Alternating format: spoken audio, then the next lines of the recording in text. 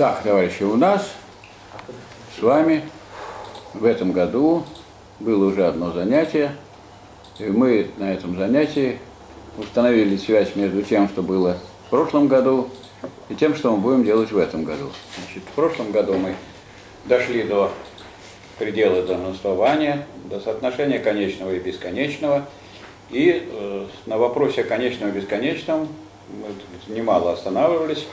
Я думаю, что отсюда мы должны и дальше пойти, потому что вопрос о конечном и бесконечном я освещал как руководитель кружка, но что касается наших товарищей, которые должны в этом принимать участие, ну вот пока такой, я бы сказал, свободы во владении этой категорией пока еще нет. Вот э, тем более, что у, у Гегеля речь идет о том, что когда вот он рассматривает истинно бесконечное, то реальным является что?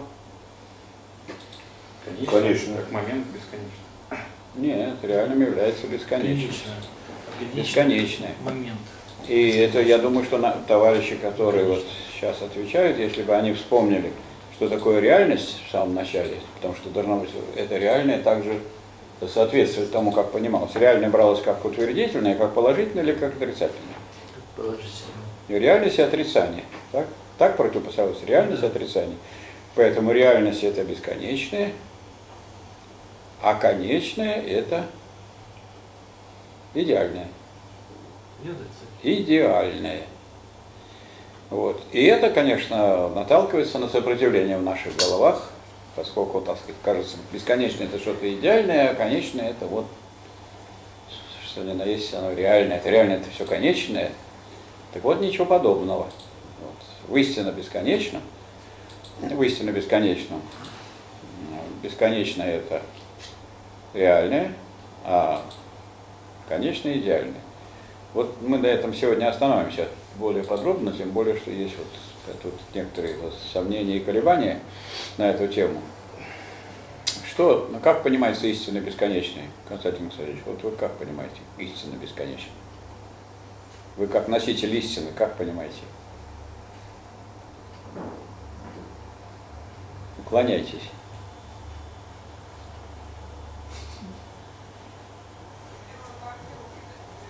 Павел Борисович, истина бесконечная, как понимается? Как единство двух моментов. Как единство двух моментов. Получается, это третье какое-то. Единство двух моментов. Здравствуйте. Единство двух моментов это что третье еще. Значит, есть конечное, есть бесконечное, есть единство двух моментов. И вот оно, значит, так это сидят, они в единстве, дружно так и, и живут. Все-таки. Ну, точнее, что целое, одно. А как что целым-то является? Бесконечное. Бесконечно является целым. Или вот если мы э, разбираем этот вопрос, у нас же как всегда получается, сначала мы, да, сначала мы разбираем, вроде бы поняли, все стало понятно, а потом переходим к следующей категории, и вот там выясняется, что вот истина этого того, что мы разобрали, вот в этом, в том, к чему мы переходим, что истина это понимание, оно дальше проявляется. И приходится каждый раз пересматривать предшествующее понимание, правильно? В этом, наверное, сложность, это вот людей очень сбивает. Ну а как, если мы двигаемся к истине, к истине значит мы двигаемся через отрицание того знания, которое у нас до этого было то знание хорошее, оно более правильное, чем было до этого, но мы его отрицаем, переходим к более сложному. Значит, ответ совершенно правильный, значит, есть истина бесконечная, так, или просто бесконечная, и вот это, в этом бесконечном есть его момент какой? Конечный. В нем два момента есть бесконечном. Какие? Конечное как момент бесконечное. И? Бесконечное. И бесконечное, как свой собственный момент. Раз есть другой момент, что она уже не только целая, но еще и оно как свой момент существует. Но какой? Утвердительный или отрицательный? Бесконечно утвердительный момент. Бесконечно утвердительный момент, а конечное как отрицательный момент. Так отрицательный момент разве можно ему давать понятие реальности? Название реальности? Никак нельзя, правильно? Потому что реальность у нас уже употреблялась, она употреблялась по отношению к тому, что является утвердительным, положительным. Но это вот я бы сказал, такой формальный подход. Формальный подход, а есть еще неформальный подход.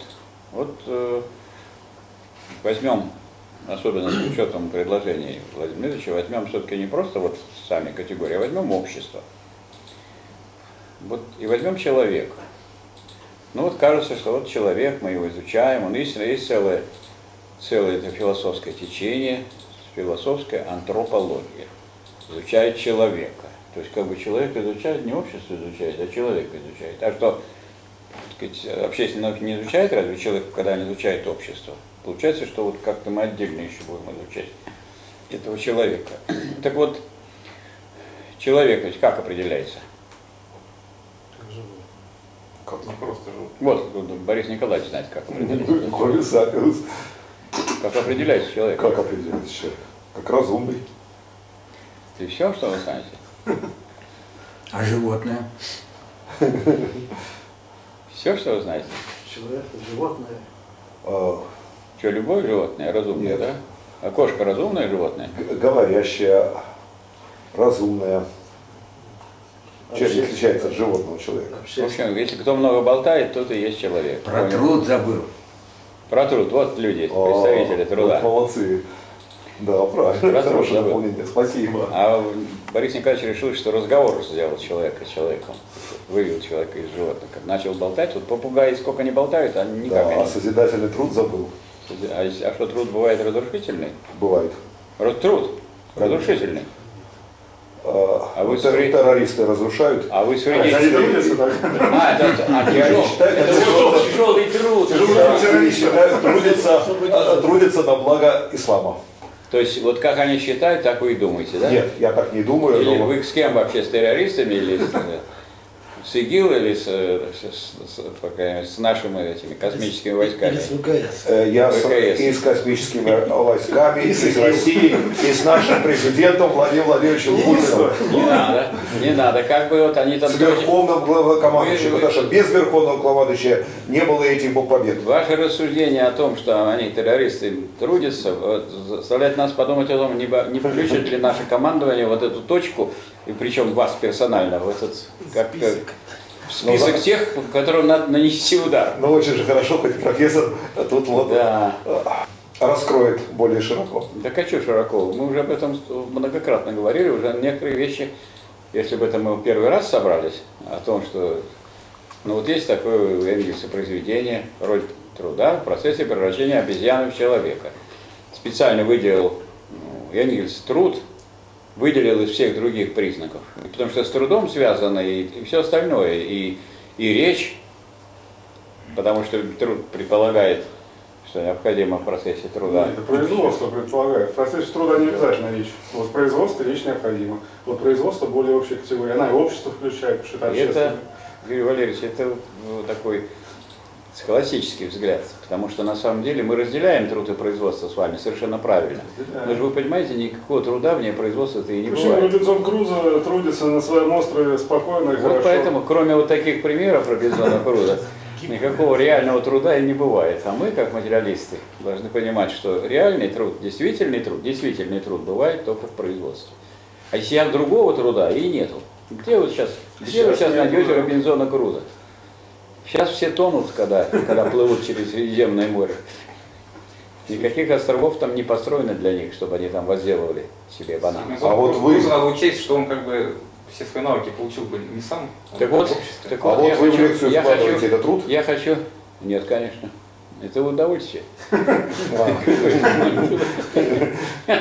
Вы что, ради труда сюда пришли? Мы же пришли удовольствие получить. Вам и тут и чай нальют, как хорошо. Так, э, так вот давайте мы э, поставим вопрос о человеке. Значит, если человек это общественный человек, это первое, что вы не сказали. Потому что труд это уже второе. Это общественный человек. И, и вообще и животное, прежде всего, это общественное, а не просто животное. Так вот, если он общественный человек, то что здесь бытие, что здесь целое, а что момент? Вот что целое, если человек это общественный человек, если он не общественный, то он не человек, строго говоря, так, то общество является вот этим, э, вот этим целым, общество. А отдельный человек это лишь его момент. Ну и другая часть общества, кроме этого человека, другой момент, правильно? Общество в целом. Оно как бы представляет собой еще и момент по отношению к этому человеку. Но в целом-то надо брать общество. Реально ты что, общество или человек? Общество. А человек это идеально. Сегодня он есть, завтра его нет, другой человек, третий человек, а общество все развивается, развивается, и оно бесконечно и вечно. По природе своей. Не в том смысле, что не может быть каких-то катаклизмов, которые могут погубить А человечество. вот всякий, всякий ли человек иде- идеальный? А? Всякий, всякий ли человек идеальный? Ну вот он не трудится. Словом всякий, словом всякий вы сразу вместо человека взяли особенного человека, единичного. А мы берем человека. Вот, общество. Вот если вы берете человека как человека, то он идеальный. да. А если вы берете человека не как человека, а как э, Отщепенца. Ну вот да, как некоторые там, э, которые трудятся в в ходе леса, в игиле. То есть на самом деле правильное понимание вообще, правильное понимание такое, что вот если мы рассматриваем общество, это вот мы рассматриваем как раз вот то, что является реальным. Реально это общество. А человек, а что значит идеально? Вот здесь вот этот смысл, который мы долго выясняли еще по просьбе Валерия Александровича, вот как это вот и идеал, не путать с игил, идеал, значит, как, как это надо понимать, в отличие от идеала, когда пишется идеал, это идеальное в смысле того, что в голове. У Гегеля там категория записана по-немецки идеал, то есть два и. Написано. Идеал не означает то, что в голове, оно означает вот идеальное в том смысле, что это более момент целого, но его и нету его как самого по себе, нету, он только, он только и может, человек может жить только в обществе. И, кстати, и Пятница, и Робинзон только потому и могут трудиться, что они научились трудиться до того, как попали на этот самый остров. А если бы они попали, прежде чем на этот самый остров, попали сначала к волкам в детском возрасте и до пяти лет там бы прожили, то никогда из них нельзя было бы сделать человека. Правильно? Это уже известно. Что если человек попадает к животным, так сказать, в младенческом возрасте, и вот до пяти лет он не будет на воспитании у людей, то он уже человеком не будет никогда. При том, что он вообще был здоровый во всех отношениях, со всеми способностями. Родился. да, и так далее. А? Родился когда? Да, когда родился. Вот поэтому наше такое эгоистическое, такое эгоистическое настроение и такой взгляд на человека как на я, вот, которые потом проявились там у Фихта, я, вот начну я, вот он, конечно, он прямо с я начнет свою философию, дескать, вот с я. И потом выяснилось, вот Гегель показал, что вот вы можете начать хоть с я, хоть с чего хотите, а все равно получится чистое бытие. А в отношении к обществу, вот это я, если это я не в обществе, то это вообще не человек. Поэтому то, что он отдельный человек, это видимость. В этом смысле это идеальное. То есть это момент только, в целом, момент.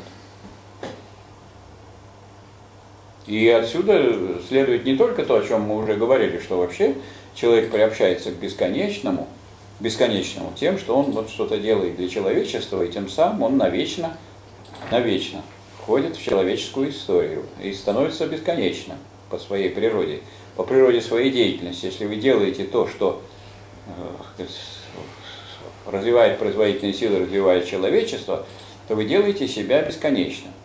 Но тут более резкая постановка вопроса у Гегеля, что вообще вы человеком являетесь только если вы вот в обще- если вы в обществе, которое является целым, представляете его момент. А если вы думаете, что вы не момент, ну вот тогда вы и не человек. Вообще говоря, те, которые трудятся на ниве терроризма, они себя вы- выставляют против человечества, и человечество начинает с ними бороться, как с нелюдьми. Не так разве? Именно так и есть. А что вы хотели нам навязать? Я не навязать, а услышать ваши суждения, чтобы была ясная А, то есть у вас, картина. ах, у вас провокационное было выступление. Ну вот это очень важно.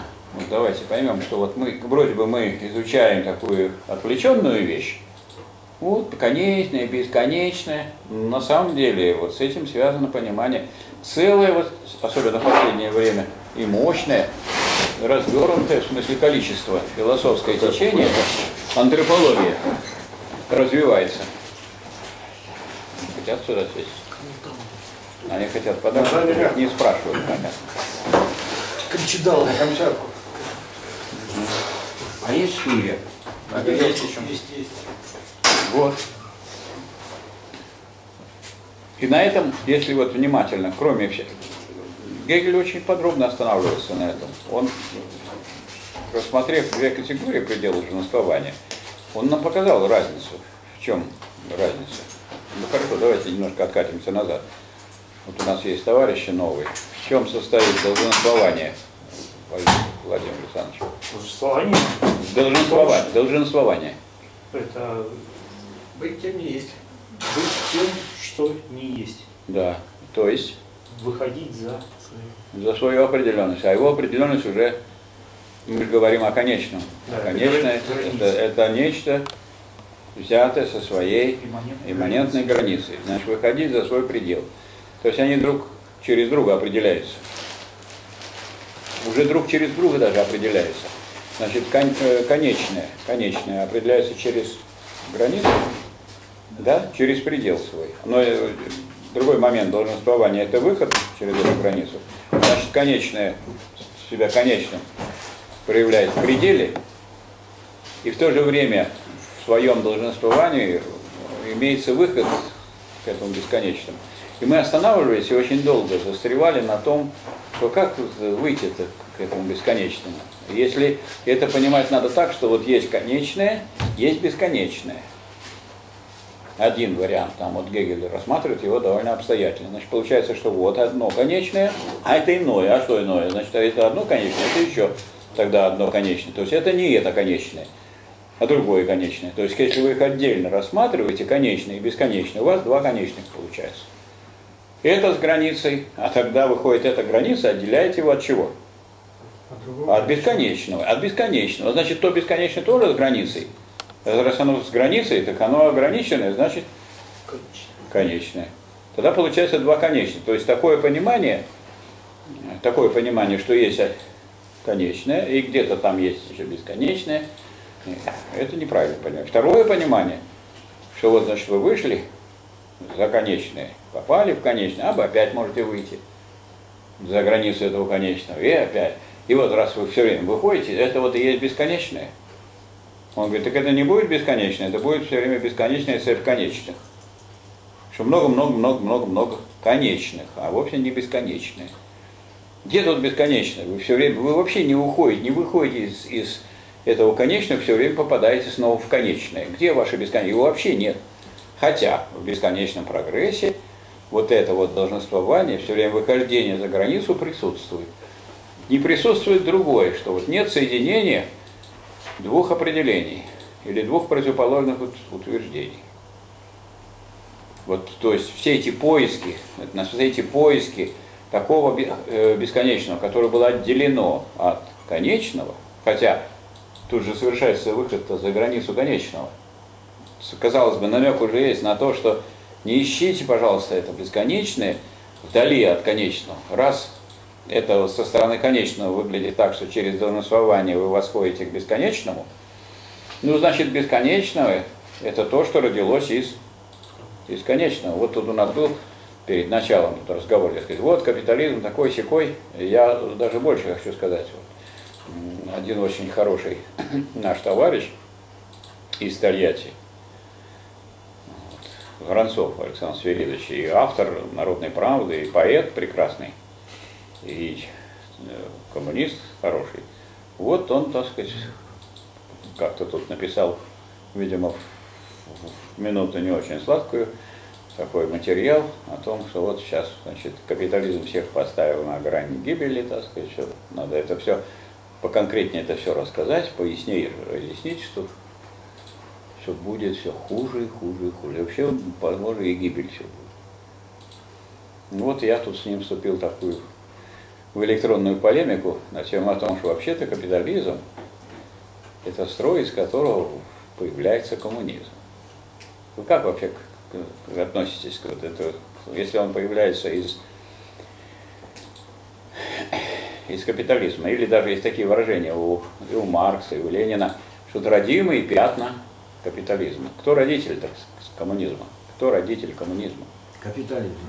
Ну, если родитель коммунизма, капитализм, ну, вы не любите своего папашу, там, мамашу, ну, вы как-то так ну, с уважением хотя бы как-то. И это понятно, что вы там расплевались, вот, вы полная противоположность, сейчас так и бывает, там лет до, до 14 до 15, а потом уже как бы они там самостоятельные, вообще вы никто, тинейджеры.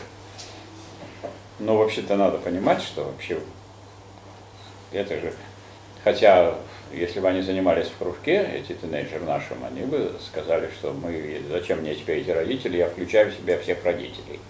И бабушек, и дедушек, потому что я их продукт, правильно?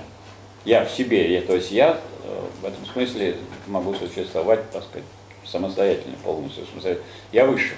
И, в общем, это правильно. В принципе, это правильно. Тем более, кто не верит, пусть поставит вопрос, а что, так сказать, поскольку все не вечны, в первую очередь не вечные родители, а потом уже не вечен будет отпрыск. Наш Правильно? опыт был социализма. Да. Да у нас-то был опыт социализма, но у нас, ну, вопрос сейчас стоит в том, что, как мы знаем, что сам период рождения какого чего-нибудь нового, он связан и с поражениями, и с недостатками. А что, период капитализма не был связан с восстановлением феодализма? Был связан. Но все-таки мы понимаем, из чего рождается капитализм. Из чего? Из феодализма. Ну так надо, капиталисты должны уважать феодализм вообще, кроме того, что они там с ним борются, отрицают, там осуждают, головы отрубали. Но вообще-то надо понимать, что вот рождается-то он из феодализма. Вот А как в нам? Феодализм? Мы, конечно, можем тоже сказать, что вот была хорошая у нас страна, Советский Союз, было все замечательно, теперь пришел капитализм, из-за этих негодяев, таких как Ельцин, Горбачев, причем вот, Ельцина не удалось повесить, а Горбачев может еще удастся. Поэтому все вот, нам- надо молиться, чтобы он сам не умер, потому что такие люди не должны сами умирать, которые разрушают такую страну и такую цивилизацию, потому что они преступники. Но ну, капитализм, вот, в котором мы находимся, и в котором находится основная часть человечества сейчас, он беременен э, коммунизмом или нет? На чем? На что главное это вот? Особенно наше- мы, Почему это? Не особенно мы. имеющие опыт. Не особенно мы. Мы уже проиграли, а другие, может, не проиграть. Вот мы имеем опыт, а мы должны понимать, что он... Так вот мы, если мы гов- говорим, что мы имеем такой опыт, ну так мы тем более знаем, что этот э, коммунизм рождается из чего? Из капитализма. Ну так радуйтесь, что у вас капитализм. То есть это э, на чем зиждется наша уверенность в том, что будет коммунизм? На том, что мы живем при капитализме. Почему? А потому что капитализм имеет развивает общественный характер производства. Виктор Иванович, он не остановил развитие общественного характера производства, я вам как к специалисту обращаюсь. Нет? Может, может вообще остановил? Нет? Назад не пошло? А нельзя как-нибудь остановить, чтобы не развивался общественный, потому что вот я как представитель, допустим, представитель капиталистов, вот ожидаю, что не будет чего-нибудь плохого, если общественный характер будет все развиваться, развиваться, не подорвет ли это наше господство? Да он не сможет сделать. Не сможет, да, вот плохо дело. А что же нам делать? То есть вы предлагаете нам заранее переходить на вашу сторону? Или еще сейчас мы поживем некоторое время? То есть, вот я думаю, у нас тут таких вот истеричных выступлений, которые кажутся очень революционными, очень много. Что вот, так, так все плохо, так все плохо. Но то, что все плохо, это все знают. Это, этим, этим отличались предшествующие всякие коммунизмы. Если вы возьмете коммунистический манифест, в чем его особенность? Что он разбирает все отрицания капитализма. Кто любит капитализм? Никто. Феодалы не любят, потому что он их уничтожает. Мелкая буржуазия не любит, потому что ее пролетаризирует. Крупные, э, значит, э, попы не любят, потому что вот э, богатые не пролезет, и Гушко. У них Христос был первый коммунист. Как? Рабовладельцы в Америке, юг воевал с капиталистами с севера, не любят капиталистов, рабовладельческий строй. Кто не любит? Рабовладельцы не любят. Не Да, любят. они любят. Южные Штаты. Не любят. Они, они держали там капитализм. Обычные капиталисты сегодняшние, вы хоть знаете одного капиталиста, который устраивает тот капитализм, который есть в той стране, где он живет? Я таких не знаю. Они же все недовольны. Вы послушайте. Вон тоже эхо послушайте Москвы. Они говорят, вот режим ужасный пришел. А кто его привел этот режим? Вы же и привели, вы же и делали. А чего вы теперь грустите? Вы получили, что хотели. Вот, говорит, режим такой ужасный. Тот ужасный, это уже, вам все режимы ужасные. То есть, и поэтому отрицание, отрицание капитализма называлось ранее, когда не было никакого действительного социализма, называлось социализмом, как течение идейное. Так что это все социалистические учения, вот они все. А э, кроме этих отрицаний, есть отрицание такое возвышенное. Вот мы вам будем рисовать такие там замки, воздушные программы, хорошие догадки у нас будут гениальные, как будет построено новое общество. Это социализм-утопизм. То есть нам надо в своих программах не стать социалистами-утопистами. И, наконец, единственный э, социализм, который считается научным, это тот, который находит ту силу, которая приведет к коммунизму не где-нибудь там, там, там, там, не на небе, и не где-то за синими морями и за высокими горами, находит ее в том классе, который готовится этим самым капитализмом, дисциплинируется и, как сказать, и собирается в огромные массы людей. Кто это делает? Это что делают? Коммунисты, что ли, собирают рабочих в крупные коллективы? Да. А если они мелкие, то они уничтожают эти мелкие коллективы, укрупняют. Кто это делает? Монополия. Это делает не монополия, это делает капитализм. Монополия это просто форма этого. Поэтому нельзя говорить, что это форма делает, а капитализм это делает. Поэтому, ну, я не хочу сказать, что надо прям так вот любить капитализм, но уважать надо, по крайней мере. Уважать надо капитализм за то, что он, ну, все, по крайней мере, вот коммунисты должны капитализм уважать. Потому что капитализм для организации рабочего класса делает больше, чем могут сделать коммунисты. У вас, ну, у вас и денег столько нет, так, и нету таких возможностей, и размаха такого нет. А тут в поте лица люди, гоняясь за своей собственной прибылью, они при этом занимаются организацией своего могильщика. Так? И другого пути нету в развитии капитализма. Нету другого пути. Поэтому, как бы, взглядываясь вот в это, но вы вглядываясь вот в это, мы стоим на чем? Что мы тогда вот это видим бесконечное. Это капитализм, это конечное. А его, чем он чем? Выходом за свою границу. А что такое граница капитализма? Что Социализм. Социализм. Коммунизм. Нет, если вот просто вот он, может быть, граница капитализма такая, что другой капитализм, вот был свободная конкуренция, стал монополистический, но вот на стадии уже монополистического капитализма. Империалистического. Да. Что является границей теперь капитализма? Переход через предел в, в коммунизм. Почему? Его Потому что это выше, социализм. в этом смысл вот работы Ленина империализм как высшая стадия капитализма, что все, это последняя стадия. И форму уже принял империализм. Какую? Это было зафиксировано э, в работе «Грозящие катастрофы. Как с ней бороться». Уже принял форму государственного монополистического капитализма. Он у нас еще в России не вполне принял. У нас форма этого государственного монополистического империализма такая. Это стыдливый государственный монополистический капитализм. Каждый раз заявляет, у нас рынок все должен решать, все, у нас, значит, все будет само собой делаться. Но у нас есть естественные монополии, Роснефть, Э, Газпром, еще у нас есть неестественные монополии, Ростех, еще у нас есть а?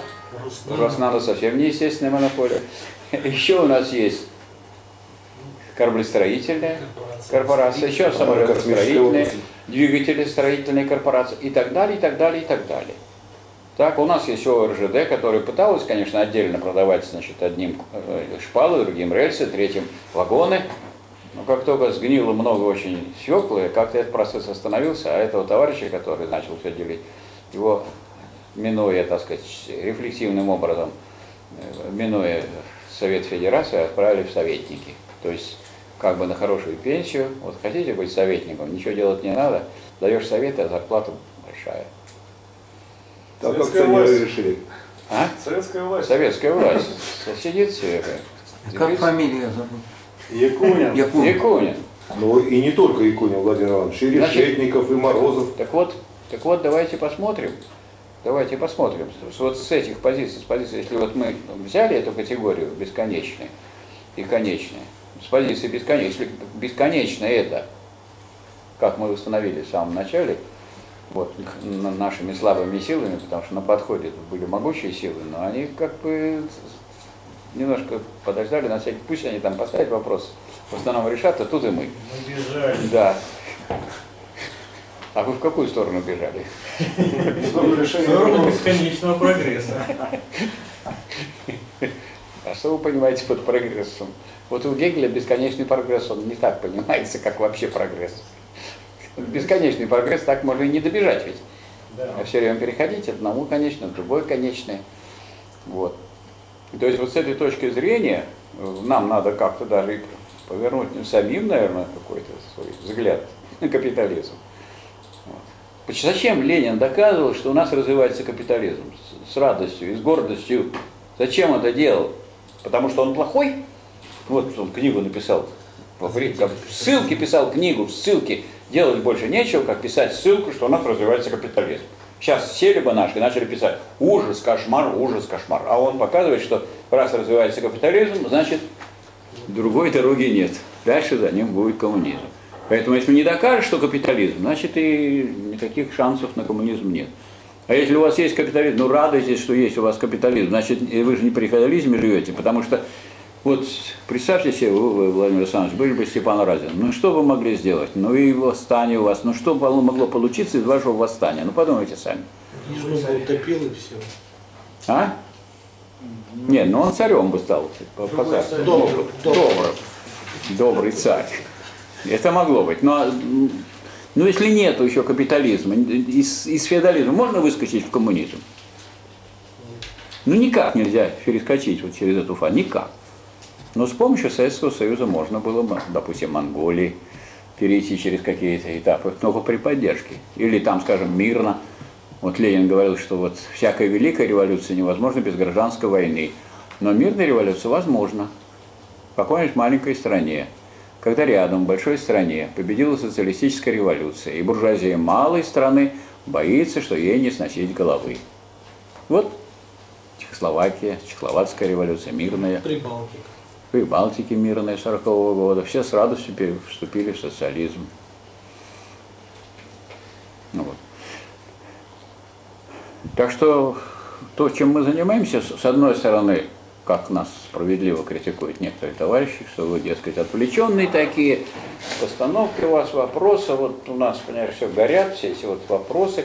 А когда мы отвлеченными позанимаемся, немножко посмотрим правильными глазами на, в том числе и на пропаганду, которая идет, в том числе пропаганду со стороны так называемых левых. Так это вот доказывает, что капитализм это только плохое, и это реакционное учение. Реакционное, оно не видит, что из этого капитализма должно выйти. Мы свое будущее так сказать, связываем с развитием капитализма, с его умиранием. Но если оно умрет, капитализм, что будет? Не будет феодализма. Феодализм нево- невозможно восстановить. Просто будет разложение общества человеческого. Вперед надо идти. И другие капиталисты тогда съедят. А если нет, а если нет э, раз- крупного машинного производства, может быть социализм? Не может быть. Поэтому если слабый капитализм, ну из слабого капитализма не получается ведь коммунизм. Вот э, российский капитализм был слабый или не слабый? Не слабый. Пятое место. Пятое, А? пятое, пятое место. Средний раз, пятое место. Как же не... Вот э, у Ленина, у. Ленин говорил, что Сильный, нужно найти, что Россия была слабым звеном в цепи империализма. Так это слабое звено, Цепи потому что именно развит был уже капитализм в такой степени, что здесь мог уже родиться социализм, коммунизм в первой фазе. В этом смысле слабое звено, а не в том смысле, что слабый капитализм. Ничего себе слабый. Пятое место. Три призовых и еще два. А сколько там? Сотни государств. А тут пятое место. Говорит, ну вот у нас отсталая Россия. Не знаю, какая она отстала. Империализм был уже. Монополии были уже в начале 20 века. Потом, как э, сказать, э, легко с монархией расстались. Вон англичане до сих пор обнимаются с Ну, Есть образное выражение, что самый высокоразвитый государственный монополистический капитализм в России Да. вот, самое А? отсталое сельское хозяйство. Да, Такая ну это, вот это вот противоречие. А поэтому сельско, поэтому революция в деревне была очень сложной в России. Революция. Но деревня, как говорил Ленин, идет за городом и пойдет за городом. Потому что определяющим является город в этом отношении. И сейчас такая ситуация. Что в деревне? Капитализм. Капитализм. А если в деревне капитализм, значит, если там были крестьяне, то есть мелкие буржуа, и они не были, так сказать, все в массе опорой, там, скажем, социалистической революции, то там теперь только рабочие в деревне. А если там только рабочие, то, значит, э, там пролетариат сельскохозяйственный. Значит, условия с точки зрения материальных условий подготовки перехода к социализму улучшились или ухудшились? Это не важно, что это вот для развития, для истории, то, что у вас там сейчас, вот сейчас у вас не социализм, а с точки зрения материальных предпосылок и материальных основ социализма лучше стало дело? Чем было вот у нас перед революцией. Лучше стало. И народу стало больше, и рабочих стало больше, чем было в 17 году. Ну вот, это говорит о том, что мы, э, вот, занимаясь этими вещами, постепенно уже набирая некоторый материал, я имею в виду, вот мы дошли до такой степени, но если мы от конечного перешли к бесконечному, вот наступил такой этап, когда можно начинать как-то применять к рассмотрению вообще крупных таких проблем. Потому что до этого, хотя нас там дергают товарищи, в том числе в комментариях пишут, что вот вы там все это все, все обсуждаете, а где будет применение, вот Они у ждут, Гегеля- что делать у конкретно. Гегеля было по, по поводу этого, что делать, когда люди вместо начинают делать лопату. Вот лопата, чтобы ее сделать, надо три элемента соединить. Значит, черенок, металлическую лопату, еще желательно шурупчик один завернуть. И вот когда я сделал черенок, меня спрашивают, как это применять? Ну, к тем, кто задает такие вопросы, можно только одним способом применять, потому что сейчас это палка. Вот. И Гегель говорит, что для того, чтобы задавать вопросы, на такие вопросы есть только один ответ, что даже для того, чтобы задавать вопросы, тоже нужно известную подготовку. То есть, если человек хочет применять, еще ничего не изучил, он еще не читал науки и логики, мы еще находимся в книге «Первое учение бытия», он говорит, как это применить? Вы хотите без сущности применять? Вы хотите диалектику, не зная, что такое сущность, применять? Ну, можно, можно применять, но только не забывайте, что до сущности мы еще не дошли. А вы уверены, что то, что мы получим, будет сущность, а не видимость? Хотя некоторые вот уже применяют там, тоже эхо говорит, слушайте радио, остальное видимость, имея в виду телевидение, которое мне нравится.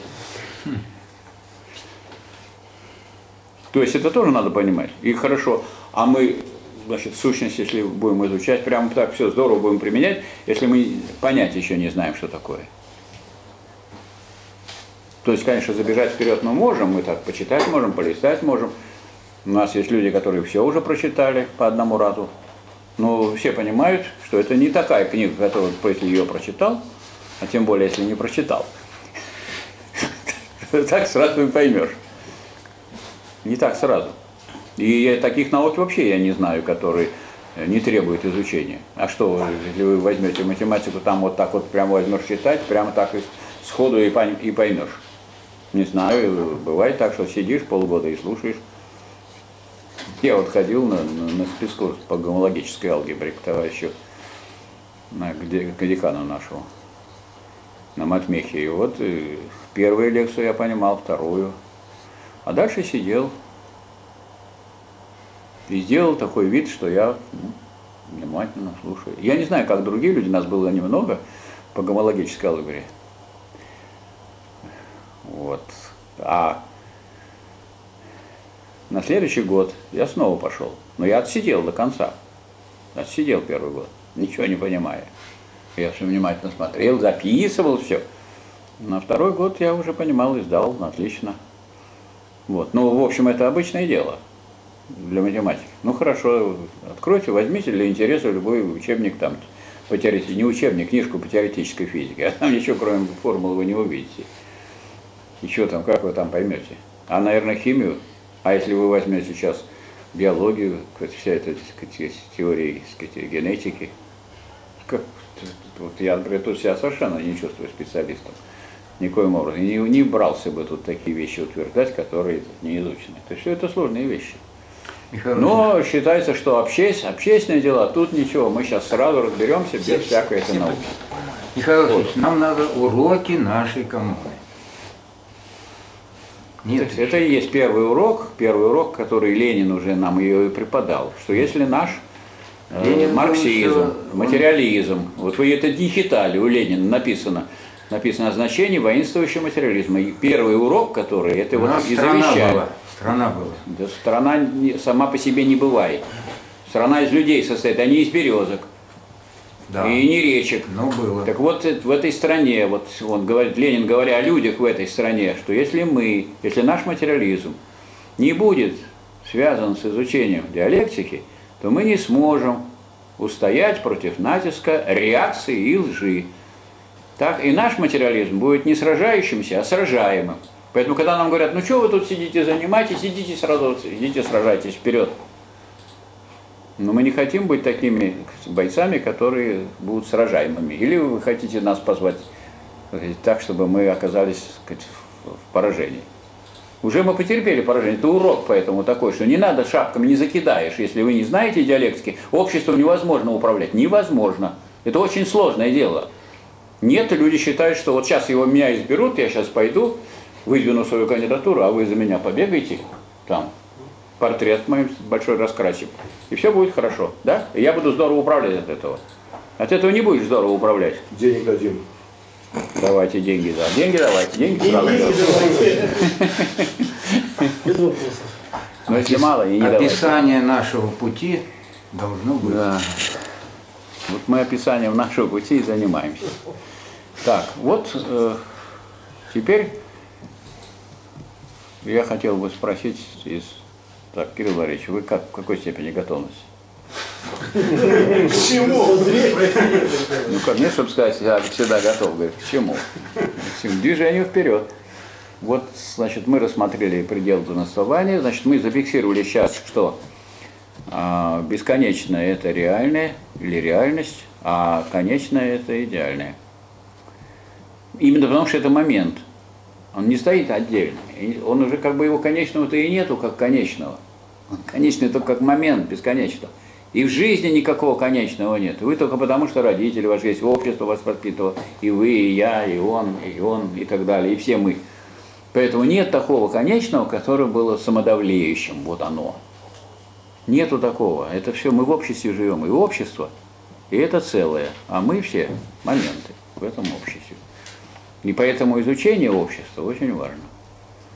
Очень важно. И отсюда и, и взгляд на общество. И взгляд на общество не такой, что мы сейчас захотим и сделаем, а взгляд на такое, а куда вообще само общество двигается? Оно же двигается или нет? Или оно только слушает, все зависит только от того, как у нас дела в кружке будут идти. Ну, конечно, от, от этого тоже немножко зависит, но не в решающей степени. А? Как решим, так и Да, давайте решим сегодня. Решим и все. Так вот, э, Кирилл Валерьевич, э, вот после того, как мы зафиксировали, что, что истина бесконечная – это реальное, а конечное – это идеальное, что мы теперь можем сказать про это бесконечное?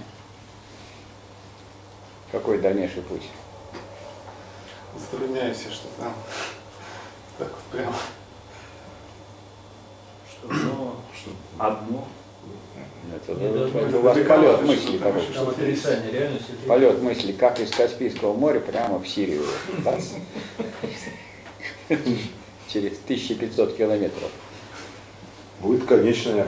Как называется категория, которая? Вот Значит, что идеальная. Что за конечно. Полет. Нет, для Конечно, себя, идеальный. для себя бытие. Вот, для себя бытие. А, Это надо как-то обосновать, что это для себя бытие. Вот это истина бесконечная, оно у нас утвердительное или отрицательное? Вот конечное, это утвердительная или отрицательная категория? Отрицательное. Отрицательный. И вообще из этого следует, вот я сюда ехал, тем более, тут, как говорится, все это, ну, погода благоприятствовала, она была холодная и мокрая. Как говорится, это заставляет подумать, там, а что, что там надо говорить-то. Вот, некогда разглядывать там. Никаких красот особенно нет и темно. Так, вот когда мы говорите, говорим определенное наличное бытие, это какая категория? Отрицательная или или положительная? Это бытие с отрицанием. Так если с отрицанием, если вы с отрицанием, чего ж тут положительного-то? Да вроде как и положительная, но отрицательная категория. Она по- потом, причем это отрицание все дальше и дальше пронизывает это. А вы не обратили внимания, что ваше отрицание было как бы чуть ли бы, ну там вроде как чуть ли не внешнюю поверхность затрагивало, а потом она вообще пронизала, пронизала все, и у вас нет уже отдельно отрицания. Вот было хорошо, вот у вас было бытие, да, вот это положительное, я согласен. И еще есть отрицание этого бытия. Хотя и в нем, но оно где-то там в нем. А теперь это вот отрицание его все проникло, нету никакого наличного бытия отдельно, а есть лишь определенное наличное бытие. Это во-первых. Это не формально, если подходить. А если формально, как называется определенное наличное бытие? Нечто. Так, товарищ Кучук, впереди какая частица стоит? Не. А вы нам что рассказываете? Если не, это отрицательная частица или утвердительная частица? Оно впереди стоит, впереди. А все остальное, вот оно вышло на первый план. А потом, а, конечно, это со своей границей. А граница это что? Это определенность. Нечто есть в своей границе. Мы же про нечто, которое есть, говорим, или про то нечто, которого нет. Его нет, еще и нет в своей границе, но оно есть в своей границе. Но раз оно есть в своей границе, а граница отрицательная, это же определенность. То есть нечто есть в своем отрицании только. Оно есть только в своем отрицании. Если я скажу, что вы есть только в своем отрицании, что я сказал? Что-то угрожающее. Правильно? Или я есть в своем отрицании, да, сказать, я скажу, что как, вами ничего плохо, что, чем помочь? Так вот, дальше больше. Вот это вот дальше, идя вперед, Гегель показывает, что на самом деле вот это вот предел долженствования. Долженствование это вот позитивное начало, которое врывается и идет через границу, а граница-то его тормозит, а он выходит за эту границу, предел долженствования. И вот все-таки это долженствование вырывается, наконец, нечто, вот это позитивное, это вот предельное начало вырывается к бесконечному. К истинно бесконечному. А как оно может вырваться? Оторваться оно вырывается, но оторваться-то не может. Оно не отрывается от конечного. И, если- и поэтому истинное понимание такое, что вы не можете оторваться от своих родителей. Коммунизм не может оторваться от капитализма. По крайней мере, долго не может оторваться. И как один из уроков говорит, что надо понимать, что то, то понимали, что социализм это не коммунизм. Вы посмотрите литературу, вот урок, Владимир Ильич, литературу 30-х годов. Социалистическое строительство, социалистическое строительство, сколько можно строить? Переходный период. Когда закончился? В конце, во второй половине. Ну так он переходный к чему был период? Капитализм и коммунизм. К коммунизму. Вот товарищ там спорит, в том числе со мной, сейчас на Красном ТВ, говорит, что вот вы говорите там, надо вот переходный период взять к коммунизму. Он коммунизмом считает полный коммунизм, а то, что не полный, что не коммунизм. Молодой человек, что не, не, не человек, а что кошка или лягушка? Что, почему молодой человек это не человек? Почему молодой коммунизм, который имеет родимые пятна выхождения из капитализма, не коммунизм? Переходный период давно закончился. Но в этот вот период социализма в некоторых случаях, в редких случаях можете найти, что это вот первая фаза коммунизма, в редчайших, в том числе у Сталина. А в основном говорится, ну, значит, построили социализм в основном. Так социализм построили в основном или коммунизм построили в основном? Ну, если построили социализм, значит, и коммунизм построили в основном. А потом, если вы коммунизм построили в основном, так вы коммунизм построили или нет? Или что, это, что в основном, что его не построили? Ничего себе, строили, строили и не построили. А что тогда такое социалистическое строительство? Ну, Тогда непонятно, что это такое. Строительство коммунизма. Строительство коммунизма, так он построен коммунизм. Да? Задача вообще не так стоит. Вот урок, не так стоит задача. Вот вы дом построили, что вам нужно делать? Вы вымойте углы, уберите строительный мусор. Вот все следы того, что здесь стройка, запах такой от этой всей стройки еще остался. Отделка. Краска, отделка там, которая стоит сейчас столько же, сколько строительство. 50 на 50. Сейчас ведь как сдают? Это вот у Маяковского было там, помните? Рабочий получил новую квартиру, там и над краны, на одном горн, на другом холл, и, так сказать, все поклеено, все хорошо. А сейчас что, вам стенки дадут голые? И дырки там, и выходы этих проводов. Ну, Электричества тоже нет. это можно все. Вот это и, опи- вот и описываем. Что тут описывать? Это не Нет. описывать надо. Описывают писатели, Владимир Ильич. Писатели описывают, а Статей нет. ученые, а ученые ищут сущность. А писатели, они описывают. Вот хорошо описано, я вам рекомендую. «Вечный зов» Анатолия Иванова. Замечательно описаны противоречия социализма. Не переходного периода. Переходного периода у Шолохова описано противоречие. А вот почитайте Анатолия Иванова «Вечный зов» или посмотрите «Вечный зов» э, по телевидению. Там говорится о противоречиях социализма. И там фигура Полипова – это тот самый Хрущев, один к одному, или Горбачев. И там люди заблуждающиеся очень хорошие. И там есть те люди, которые считаются, которые в гражданскую войну за красных сражались, а потом к фашистам пошли. Там вся сложность представлена. Очень замечательно описано. Лучше, чем Анатолий Иванов, не опишите. Потому что мы не писатели с вами. И не надо к этому стремиться, что люди, которые не являются писателями и не имеют таланта, опишут так, как это сделали писатели. Анатолий Иванов все описал. И не надо вместо того, чтобы с тем богатством, которое дал нам социализм, в том числе с культурным, разобраться, и описание есть, вы думаете, что сейчас мы сядем и опишем заново, за всех, за весь... Люди сделали, надо еще разобраться с тем, что сделано в 30-е годы. Мы еще инвентаризацию не провели. Мы еще не знаем, что надо взять. Я вот вам назвал книгу не потому, что она мне на память впервые пришла. Я на эту тему разговаривал с товарищем Вагановым, который был министр, отвечавший за архивы наши, начальник архивного комитета. Он говорит, я удивлен, вот ну я начальник архивного комитета. Он написал книгу «Правый клон ВКПБ его разгром». Замечательно. Я вам очень ее советую. Ваганов. Я на нее писал рецензию, и после этого я с ними познакомился. А как, говорит, Анатолий Иванов это все вот описал, не будучи историком, я вообще понять не могу. Он доктор исторических наук, а этот, ну, писатель, Анатолий Иванов. Главный редактор «Молодой гвардии», главный форпост борьбы за социализм тогда, когда уже разрушали. Яковлев направил свои, э, так сказать, стрелы ядовитые против «Молодой гвардии» и против «Октября», который возглавлял Кочетов. Вот эти два форпоста и были главными объектами борьбы вот этих перестройщиков во главе с Горбачевым. Но факт остается фактом. Значит, если мы перешли к коммунизму, то, следовательно, так что надо было делать? Задача какая должна быть? Строить коммунизм или задача обживать этот коммунизм и изживать то, что противоположно коммунизму в самом коммунизме? Какую задачу надо было решать? Но если мы решаем не ту задачу, что тогда мы можем получить? И тут результат. Капитализм. Ну, получили мы ослабление очень большое с с этого самого коммунизма, потому что, ну, представляете, вот дом построили, давайте опять строить. И жить нельзя, только строить и строить и строить. А потом перестраивать начинаем. Строили, строили, опять это. То строительство, то перестройка. Ну, когда-то будет вообще борьба противоположностей, когда-то, когда-то диалектически. Вот, разве можно такие грубые категории, чисто строительные, применять к э, развитию общества? Это что общество? Это дом, ну, конечно, можно сказать, вот есть нижний этаж, это базис, фундамент, и есть настройка, это верхний этаж, как бы мансарда. Ну, можно, конечно, это тоже применяется. Но только надо э, понимать, что вот можно этот, м, понимать этот базис э, механистически, берут просто производственные отношения, оторванные от производительных сил. Будучи оторваны, от, говорят, производственные отношения это базис.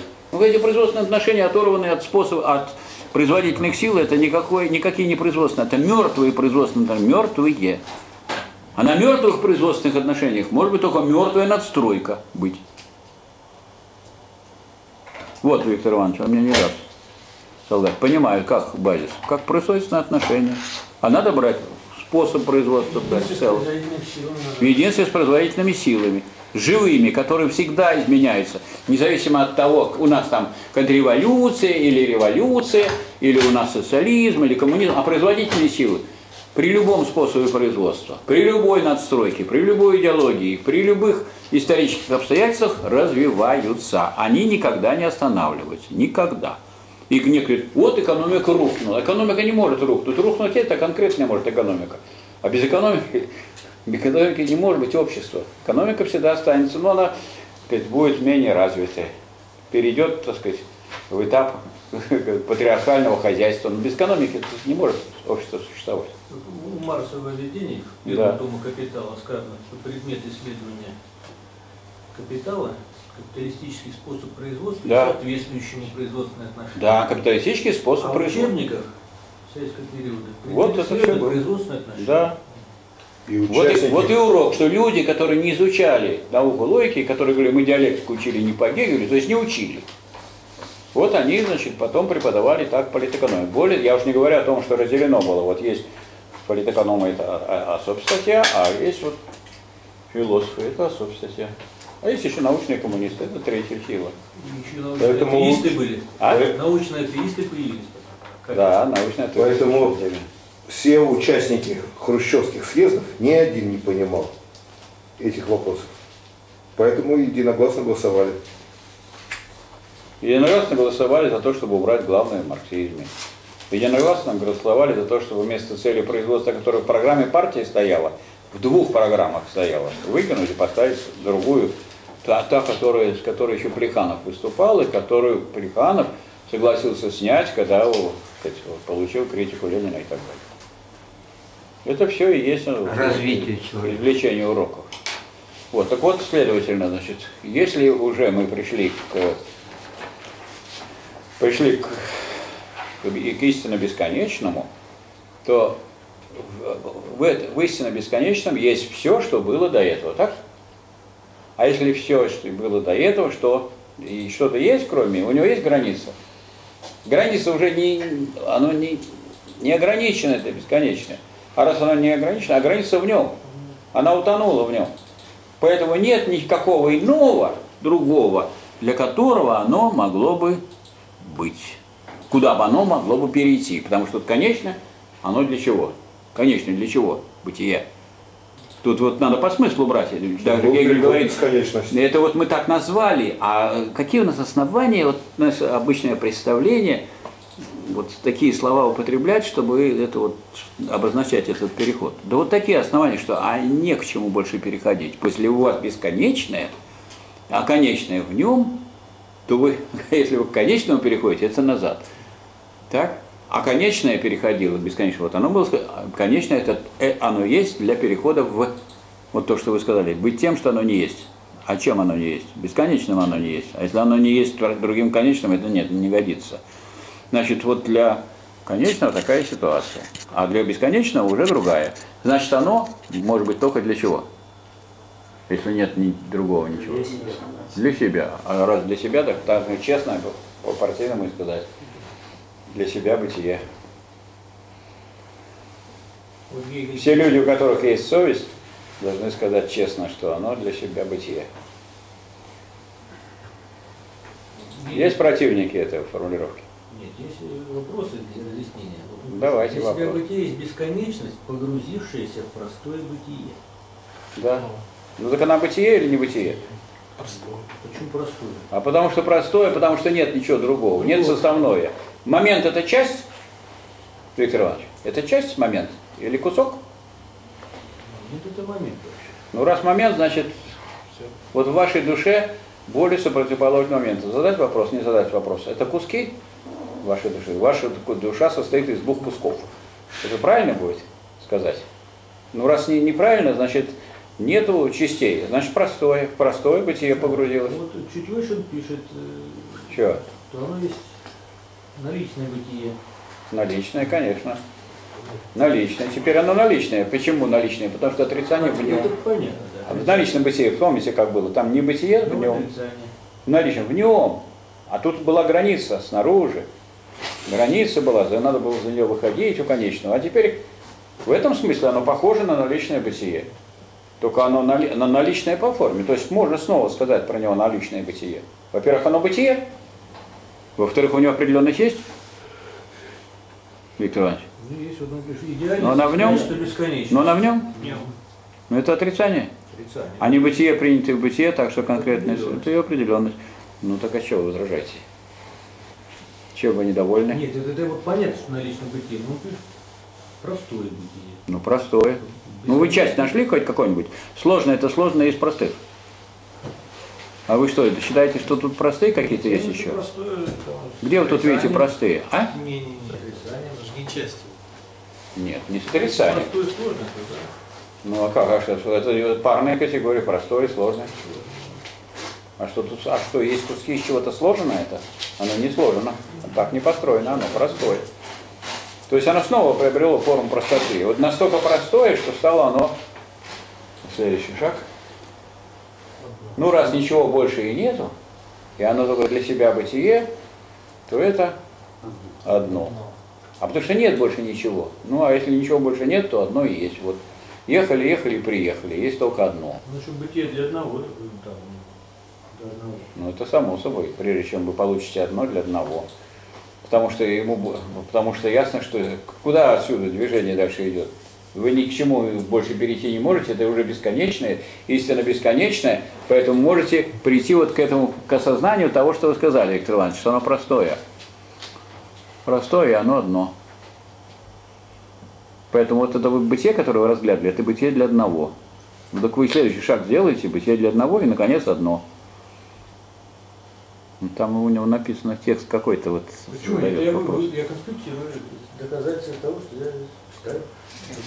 Ну как он письменное доказательство принимаем?